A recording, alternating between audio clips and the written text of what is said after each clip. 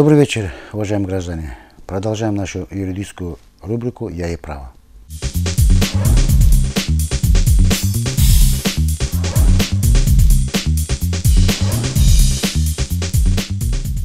Дело в том, что э, по спорам, связанным с детьми, это очень сложный спор. А если на первый взгляд вы думаете, что это э, легко решается, да нет, в судебном порядке ее доказать, что э, дети должны оставаться с матерью или с отцом при наличии спора, очень тяжело. Вы не забывайте, что в этом случае суд должен э, э, дать оценку тому, у кого лучше э, детям будет. У родителей, которые раздельно проживают. У мамы или у отца. Дело в том, что в первую очередь, конечно, играет жилье, наличие жилья. В вторую очередь играет наличие дохода, заработной платы. И в третьей, естественно, атмосфера, где они там будут проживать. Если, допустим, у вас есть квартира, э, доход, э, рядом школа, к примеру, а у матери, допустим, нету ни квартиры, она проживает на квартире, или родители не работают. Естественно, здесь суд всегда предпочтение дает в этом случае э, тому родителю, где детям лучше. Хотя фактически первоначально, еще до начала судебного процесса, суды всегда бывают сторонники на стороне мамы. Почему? Потому что это мать. В ходе процесса, когда выясняется, я не исключаю такого возможность, э, как у нас практика уже показывает, иногда детей оставляют с отцом. Это все зависит, я же говорю, в каких условиях, как там жить, есть ли помещение, есть ли для отдельной комнаты, имеется ли отдельные комнаты, Э, материально будут ли они обеспечены. Все это играет роль. Поэтому это все зависит от спора, который у вас будет в суде.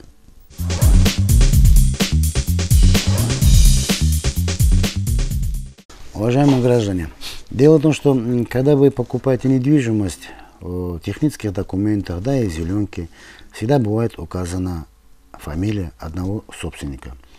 Мать или отца. Или ваша, или ваши супруги. Дело в том, что это называется титульный собственник. Обоих супругу и супруга записать туда невозможно, потому что это одно целое. Можно, если в долевых вы покупаете. Одна вторая часть на маму, на, то есть на супругу, и одна вторая часть на супруга. Если вы так покупаете, можно указать обоих. Но если вы не делите, а цельное домостроение покупаете, это может быть э, оформлено на супругу или на супруга.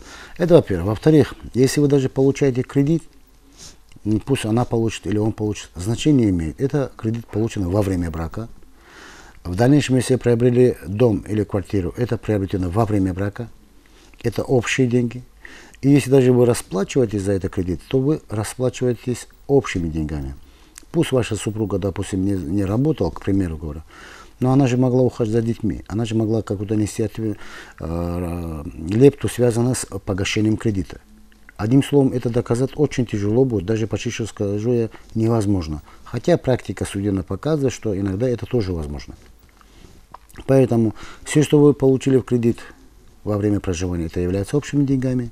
Если вы приобрели недвижимость, это является общим и подлежит разделу. Если вы кредит полностью не погасили, какая-то сумма, это тоже после расторжения брака делится на две части. Поэтому все, что во время брака, это общее.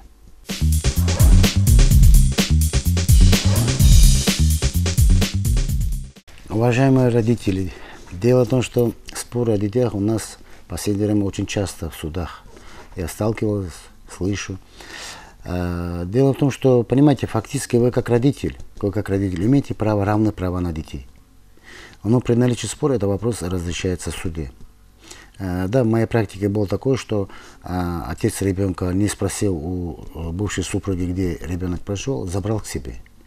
В данном случае она обратилась и с похищением, и кражей ребенка, но когда выяснилось, что это отец и законные права на это ребенка имеет, а не чужой человек, естественно, возбуждение уголовного дела было отказано. Да, в таких случаях мать может заявить, и что похитили, и что украли. Но э, отец ребенка имеет такие же права, как и на ребенка – мать имеет право. И хотя она, ребенок может проживать вместе с матерью. Вы всегда, когда разрешаете такие вопросы, если у вас споров нет, я вас очень прошу эти вопросы разрешить а, обоюдно, чтобы вы, у вас спор не возник, где будет находиться в эти выходные или каникулы ребенка. Ну, при наличии спора, конечно, уже определяется порядок общения с ребенком. Вопрос стоит в том, Если отец заберет, не спросил супруга, будет ли это считаться преступлением, нет, конечно, не будет. Если даже мать заберет, тоже так же не будет. Но это еще не значит, что надо пользоваться этим за то, что не будет возбуждено уголовное дело и как, хотите, э, как вы хотите поступить с ребенком. Лучше определить порядок общения с ребенком. Пожалуйста, если ребенок проживает с отцом, то определи порядок общения с матерью, а если наоборот, то определи порядок общения с отцом. На основании этого решения, пожалуйста, в любое время вы подходите и забираете ребенка. Если другая сторона противится этому, то в этом случае существует у нас судебный пристав, который могут обязать родителя обязать родителей, чтобы они выполнили решение суда.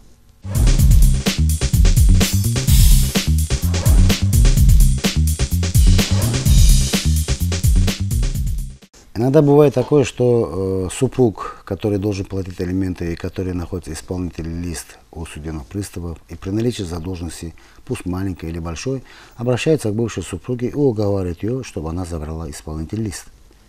Естественно, при подаче заявления об отзыве исполнителя она пишет «отзываю исполнительный лист без дальнейших действий».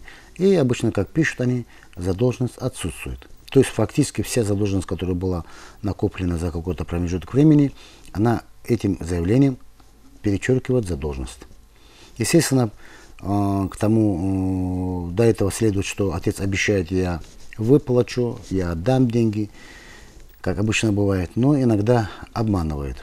А потом уже, когда а, она проснулась, образно говоря, через полгода, год, когда она поняла, что никаких денег не получит, она заново обращается. Но, увы, с момента прекращения того исполнительного производства, все средства, которые там были, они, так скажем, сгорели. Вы можете обратиться с заявлением уже с, ну, э, с заявлением уже с этого момента подачи, чтобы определили задолженность. Ну, если вы укажете заявление за предыдущие три года, если, допустим, укажете за предыдущие три года, тоже также может быть взыскана задолженность но не с момента под, э, вашего отзыва. До этого момента далее за предыдущий э, период времени взыскиваться алименты уже не будет. Поэтому до совершеннолетия любая супруга или супруг имеет право э, обратиться к судебному приставу для принудительного исполнения при предъявлении заявления и исполнителя листа. Это не ограничивает, что они если забрали, а завтра нельзя предоставить исполнитель лист к принудительному исполнению. Любое время она имеет право на это.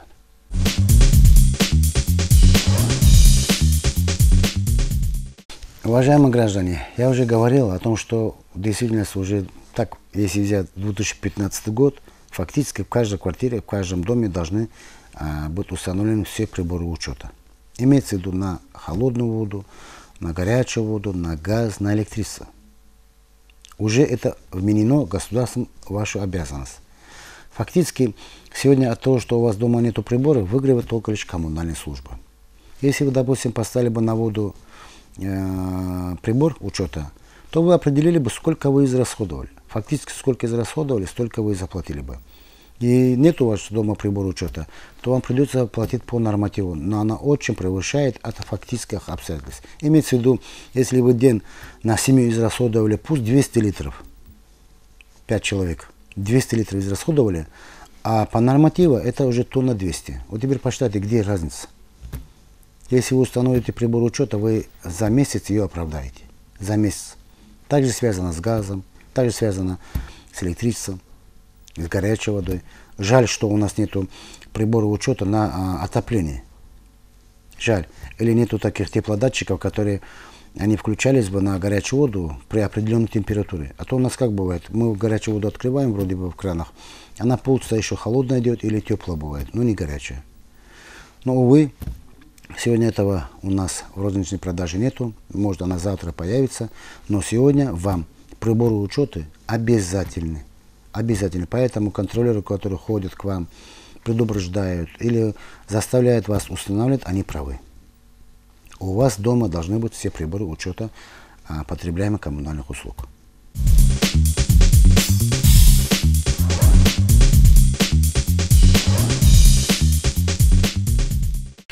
Ну, я понял, вы в 2010 году отозвали исполнительный лист, а теперь хотите предъявить исполнительный лист э, принудительным исполнением. Никаких проблем. Завтра же обращайтесь с заявлением, и заявление укажите, пожалуйста. Прошу вас определить задолженность за последние три года. Все. Если в 2010 году забрали, ваша задолженность будет определяться с 2012 года. то есть за последние три года. И после этого судебный пристав возбудит, э, имеет, должен, обязан возбудить исполнительное производство и вынести постановление об определении задолженности. Вот и все, на этом все.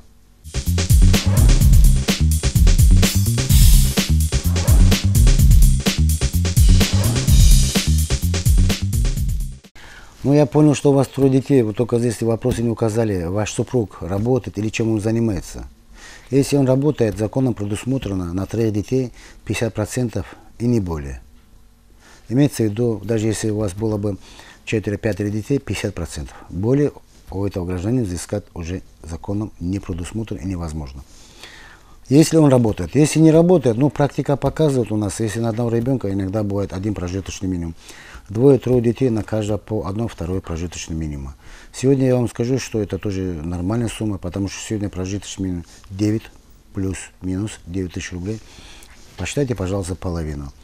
Это и умножить на троих, это где-то 13 э, тысяч у вас с лишним получается. Поэтому сегодня для вашего бывшего супруга это очень большая сумма, как если мы его послушаем. Но, увы, закон обязывает содержать своих детей. Поэтому если ваш супруг не работает, не работает, то это суд должен указать приемлемую сумму, которую возможно взыскать с вашего бывшего супруга для содержания ваших детей.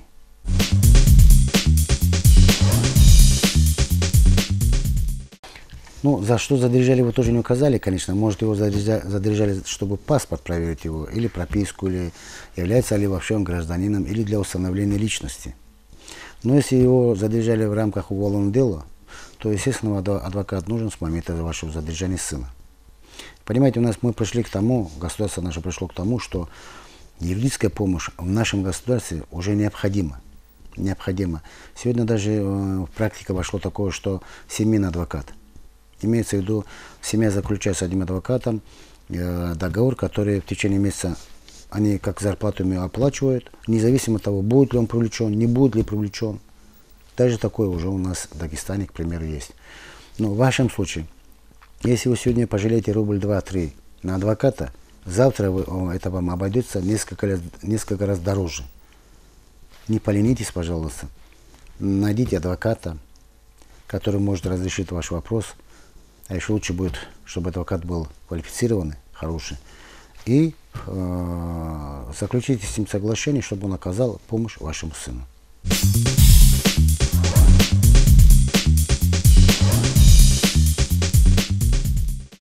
Вы знаете, еще в 90-х годах такое практиковалось, что э, лица, которые отсюда уезжали, обычно это русскоязычные бывали, когда уезжали, они заключали договора в устной форме, получали деньги и уезжали. А наши э, дагестанцы надеялись на то, что потом оформим, потом сделаем.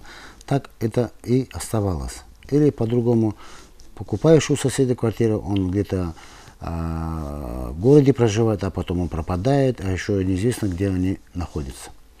На сегодняшний день вы эту квартиру, которую вы проживаете, пусть даже 20 лет, переоформить на себя не сможете. Ни через суд, ни через другие органы.